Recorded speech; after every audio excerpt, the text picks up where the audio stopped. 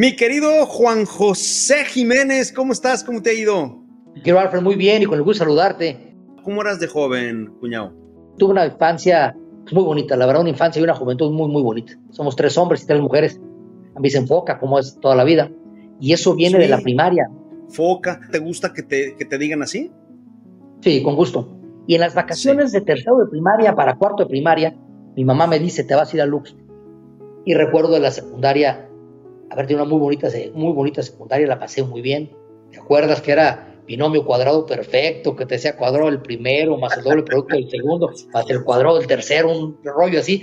Muy bonita, pasamos la preparatoria, tengo muy buenos recuerdos también de la, de la preparatoria, ¿no? Estaba yo en el área de humanidades, la área más pequeñita que había en la preparatoria. ¿Por qué humanidades? Cuéntanos la historia detrás de esa elección. Desde niño me llamaba mucho la atención el derecho y sobre todo lo que tenía que ver con secretarías de Estado. ¿Qué Secretaría de Estado hace economía? ¿Cuáles eran sus facultades? ¿Por qué? Oye, Juanjo, todos te reconocemos como una persona muy rápida de mente, con eh, la jiribilla, con el sentido del humor. ¿De quién heredas esta forma de ser? Yo siempre he sido igual.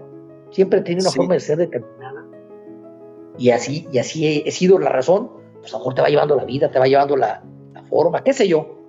Porque la vida hay que vivirla con alegría, porque este mundo vienes a ser feliz, ¿no? Hay que ser feliz. ¿Cuáles fueron los nodos, los puntos en tu vida y cómo se fueron conectando hasta llegar al día de hoy? empiezo a trabajar muy joven, yo empiezo desde ese tercer semestre, cuarto, termino la carrera, este, empiezo en el área como de litigio, luego estuve trabajando en el INE, que es el IFE, que se llamaba entonces, estuve por ahí. Luego, por azares del destino, me hago banquero. Durante muchos años, han de haber sido nueve, nueve, diez años, me hago banquero. La banca te, te enseña muchas cosas, ¿no? Por azares del, del destino, voy a dar a la administración pública y, y me mantengo en la administración pública desde hace más, más de 20 años. Yo tengo una maestría en política y gobierno, diplomados pues, en Derecho Municipal, en Seguridad y Justicia, diplomados en, en Derecho Humanos también tengo. ¿por qué se me viene a la mente la palabra zapal cuando, cuando hablamos de Juan José Jiménez? Yo llevo zapal hace 20 años. Mucha gente oye zapal y se acuerda de mí. Cuéntanos cómo es un día normal en zapal. Pensamos que es muy sencillo llegar y abrir la llave para lavarte las manos. Trabajan miles de gentes, miles de horas para que tú puedas llegar y abrir la llave. Juanjo, ¿qué disfrutas de tu trabajo? Servir.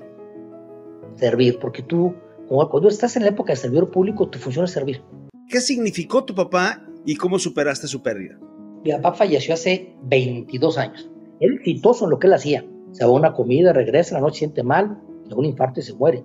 Y, lo, y te toca disfrutar de su recuerdo, de su enseñanza, lo que te dejó. Uno honra a su padre o a su madre, pues según sea el caso, actuando en concordancia total con aquello que te enseñaron. Platícame de tu familia. Yo me caso con una compañera de licenciatura, 28 años, tenemos de, casados ya, tengo dos hijas, una es abogada ya, y tengo otra, otra más chica que sigue, que sigue estudiando, ¿no? ¿Qué le dirías a Juan José Jiménez de la prepa si pudieras regresar el tiempo? Sé igual y no cambies, porque el ser muy libre te da esa libertad de decisión, porque tienes que ser libre, ¿no? Y yo fui una persona muy libre toda la vida. ¿Y en qué lo felicitarías? por su constancia. Yo creo por su constancia. ¿Qué consejo le darías a tus hijas ahora que puedes? Sé tú y sé feliz. No te despegues nunca de principios generales de actuación, rectitud, honestidad. O lo más importante, sé feliz, pero sé feliz como te guste a ti ser feliz. Juanjo, ¿cuáles son tus hobbies? Me gusta la vida en familia. Me gusta, digo, el béisbol, el fútbol americano, me gusta, me gusta la lectura, me gusta el automovilismo, cine, veo películas, sí, también. ¿Cómo va a ser tu día a día retirado, Juanjo? Yo que el retiro no es ponerte no hacer nada. El retiro es cambiar tu actividad. Quizá, digo, dando clases, escribiendo un libro. ¿Quién es Juan José Jiménez? Yo me considero que soy un hombre afortunado, afortunadamente feliz. Porque en esta vida estamos de paso, mi querido Alfred, y hay que ser feliz. Porque no hay otra, no, no, no vamos a regresar aquí para volverlo a hacer. hay que ser feliz ahorita. Yo considero que no puede decir una persona que es feliz alrededor las personas más cercanas no lo son. Gracias, Juanjo, por estos minutos, por destapar tu vida y por compartirnos tu sabiduría, cuñado. Muchas gracias. Mi querido Alfredo, te mando un fuerte abrazo. Que tengas muy, muy buen día. Gracias, Juanjo. Un abrazo. Cuídate. Si quieres, déjale un comentario a cada entrevistado que veas. A todos nos gusta recibir retroalimentación. Nos vemos en la próxima.